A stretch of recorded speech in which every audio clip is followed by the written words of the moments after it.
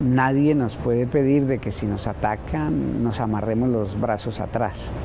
Entonces eso, pues aspiro a que ese ambiente se distensione y se puedan reanudar las conversaciones.